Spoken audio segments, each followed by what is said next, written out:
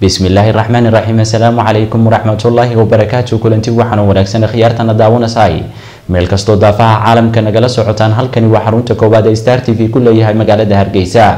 Waxaana la soo gaadhay amintaanu idiin soo gudbin jirnay guud ahaanba waxaanu war idinka haynay arlada soomaalidu degta iyo caalamka.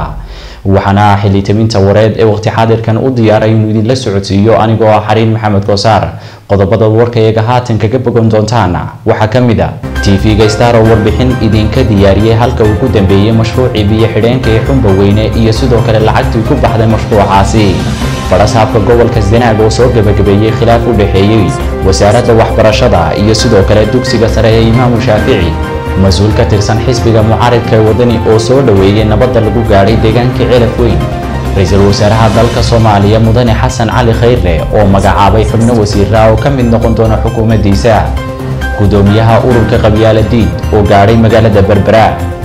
Ehelada wiil ardaya oo lagu dilay magaalada ceerigaaba ee xarunta gobolka sanaag oo madaxweynaha jamhuuriyadda somalilan fariin u diray. Akhyaarta hawada nagala socotay wararka caalamkeed kaga bogan doontaan intuu socdo warka star t v-na waxaa ka mid ah madaxweynihii hore ee dalka brazil oo ku jira xabsi ku yaalla waddankaasi ayaa ka qayb geli doona doorashada. Bisha oktoobar ka dhici doonta dalka brazil cudurka ebola oo dib uga dilaacay dalka congo. Khiyaarta sida tooska hawada noogala xidhiidhay. Intaasi waa qodobada wararkeyga ugu waaweynee daawan doontaan. Qodobadaasi iyo qodobo kaloo faahfaahsan ayaad kaga bogan doontaan intuu socdo warka star t v. Haatanna ku soo dhowaada qadar xayeysiisa